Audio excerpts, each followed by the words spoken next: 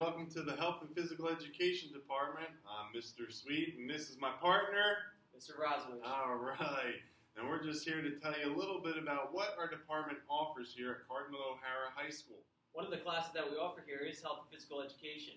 Um, and the reason that we have health and physical education is so that we can learn the value of health and fitness through a variety of recreational sports uh, and team activities. Uh, in health class, we go over a variety of different course topics, including nutrition, personal fitness, mental and emotional health, tobacco, alcohol, illegal drugs, and communicable and chronic diseases.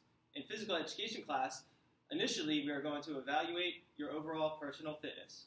We are also going to incorporate health and skill-related components of fitness into our physical education curriculum. We're going to participate in a variety of life lifelong sports, team sports, and individual sports. We have a ton of great facilities here at O'Hara, and we are excited to share exactly what we have to offer.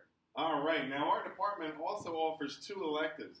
One is actually personal fitness and nutrition, where we took our personal fitness class and our nutrition class and combined it into one year long course.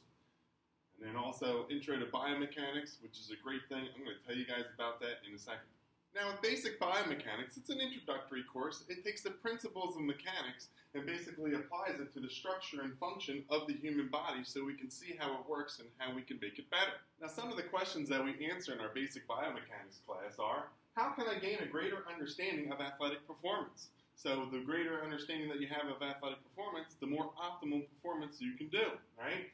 What are some of the muscular, joint, and skeletal actions of the body for a given task? So if we understand what movement that the muscles do, we can even apply that to improve our athletic performance. And also, all this information is how can we do these movements and reduce injuries at the same time? One of our very popular courses here at Cardinal O'Hara is the personal fitness and nutrition class, okay? Right here we have the junior Christopher Rajowitz who took this class for a year and went from this to this.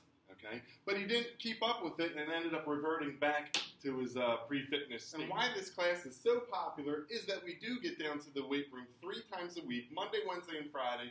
Take the things that we learned in the academic portion of the class and apply it in that weight room. Pump iron, get ourselves bodies fit, and it's just a wonderful class. Everybody enjoys it and loves it, and I've put on about 20 pounds of muscle over the last six years doing this, so it is effective. I just need to definitely tweak my diet a little bit more to get myself a little bit back to my former glory, like Rajowitz here.